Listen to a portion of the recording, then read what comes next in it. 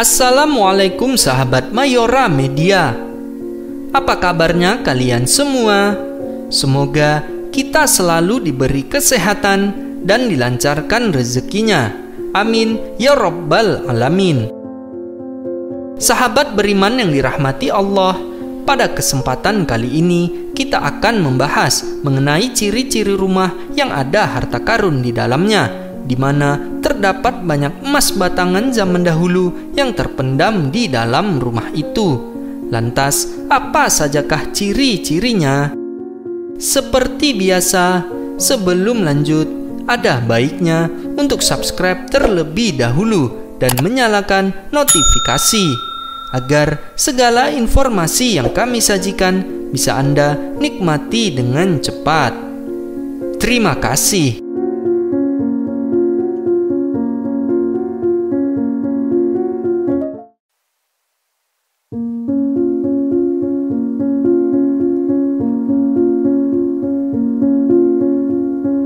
Di dunia ini terdapat dua jenis harta karun berdasarkan eksistensinya, yakni harta karun fisik dan harta karun non-fisik atau gaib.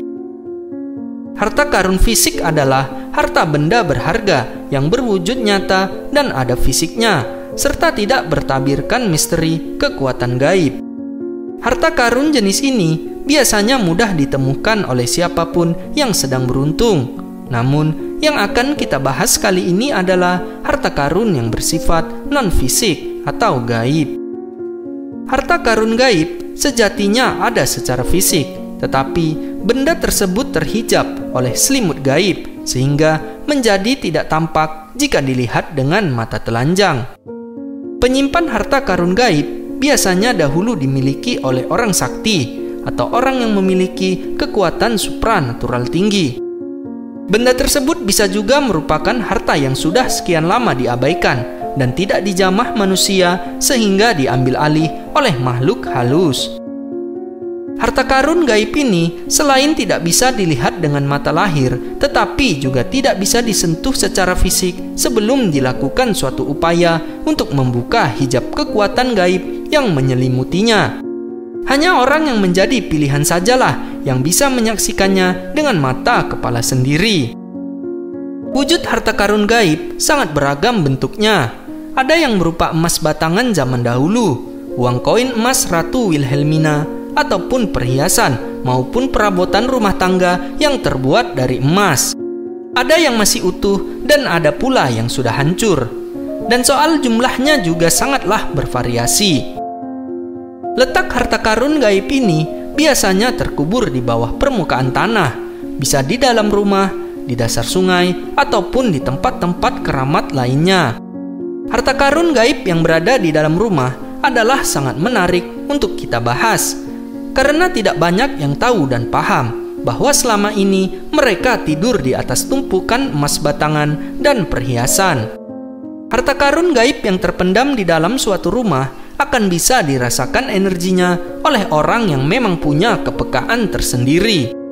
Energi yang dipancarkan harta karun gaib tersebut tidak lain adalah energi dari sang penunggu gaib ataupun bangsa jin yang bertugas menjaga harta tersebut. Biasanya mereka adalah golongan jin tua dan sakti yang kebanyakan juga memiliki hubungan langsung dengan para leluhur Nusantara.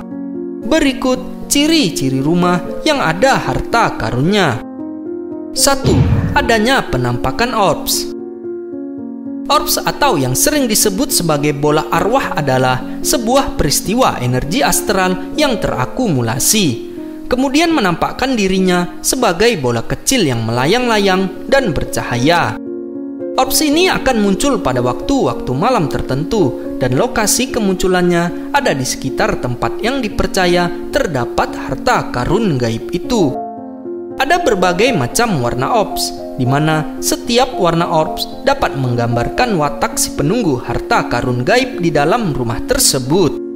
Ada satu cara paling mudah untuk menyaksikan penampakan orbs ini, yaitu dengan mengambil gambar pada setiap sudut rumah Anda dengan menggunakan kamera ponsel. 2. Terdapat serangga yang hinggap di tempat tertentu. Serangga yang dimaksud di sini adalah yang biasanya berwujud aneh dan jarang kita jumpai di sekitar. Serangga itu sering kali datang, kemudian hinggap dan betah berlama-lama di tempat tertentu di dalam rumah yang ada harta karunnya. Serangga tersebut datang dan hinggap karena tertarik oleh energi dari pagar gaib, di mana energi itu berasal dari jin penjaga harta karun yang ada di rumah tersebut. Selain untuk menyembunyikan harta karun gaib dari pandangan mata normal, pagar gaib tersebut juga berfungsi untuk melindungi benda tersebut agar tidak dicuri oleh makhluk gaib atau kekuatan gaib yang lain. 3. Perilaku aneh dari hewan peliharaan. Apabila Anda memiliki hewan peliharaan seperti kucing, anjing, ayam, ataupun burung perkutut, maka mereka akan menunjukkan perilaku yang tidak biasanya pada waktu-waktu malam tertentu. Binatang tersebut akan lari ketakutan apabila berada di tempat yang dipercaya menyimpan harta gaib. Mereka sangat sensitif terhadap kehadiran energi gaib yang ada di dalam rumah tersebut. 4. Penghuni rumah mengalami mimpi aneh. Mimpi aneh di sini dibagi menjadi dua golongan, yaitu yang bersifat baik dan yang bersifat negatif. Apabila energi dari penghuni rumah cocok dengan energi jin penunggu harta karun gaib, maka yang biasanya terjadi adalah sering mimpi didatangi oleh orang yang tidak dikenal. Tidak ada sesuatu yang berarti di dalam mimpi tersebut. Hanya saja, anehnya adalah setiap kali bermimpi ketemu dengan orang asing, maka penghuni rumah akan terus memimpikan orang asing yang sama dengan busana yang sama juga.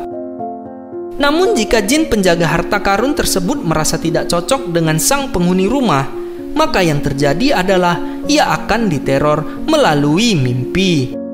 Jika seperti itu, biasanya jin penunggu harta karun gaib tersebut mencium adanya aura ketamakan dari sang penghuni rumah, sehingga dihadirkan teror lewat mimpi agar orang tersebut tidak betah dan pindah dari rumah itu.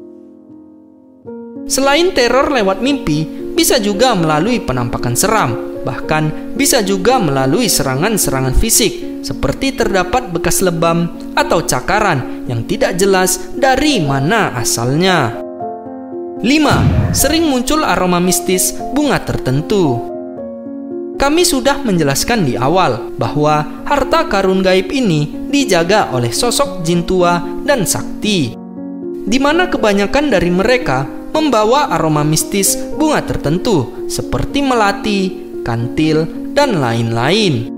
Aroma-aroma seperti ini biasanya akan kuat tercium pada malam-malam tertentu yang di mana aroma tersebut berasal dari aktivitas-aktivitas dari penunggu harta karun gaib tersebut.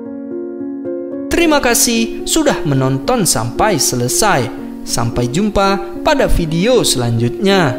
Assalamualaikum warahmatullahi wabarakatuh.